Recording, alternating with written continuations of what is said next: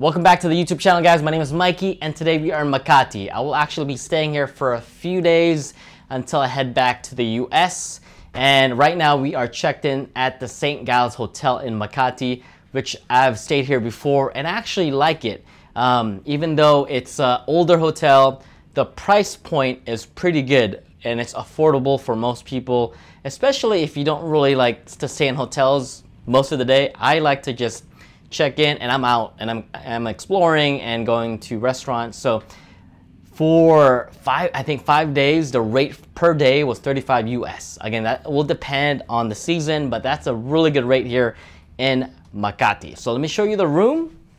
And as with most rooms here in Manila, you get a key card and you take that key card, you put it in this slot and it turns all the power on, um, turns on the TV, the AC, and a tip for you guys is to actually always get two key cards. Take one of that key card, put it inside that slot, leave that there the entire time. Take the other one, so whenever you leave, um, the AC is always on, and then when you come back, the room is cool when you come back because it's hot out there right now. It's like 36 degrees Celsius, which means it's around 100 degrees Fahrenheit, and the humidity is like crazy, crazy high. Um, but let me show you the this is the, uh, the bathroom here. There you go. Pretty clean. This is the bed. You have a side table right there.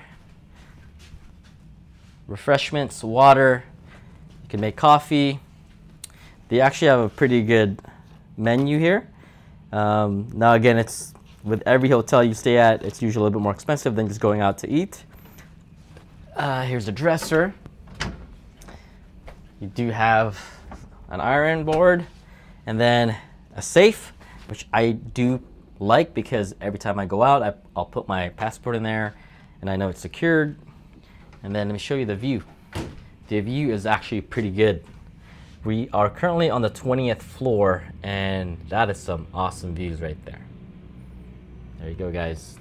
All right, guys. Hopefully you like this con content and consider subscribing to my YouTube channel and comment down below which hotel you prefer to stay at in Makati and I would love to hear about it. All right guys, until next time, peace!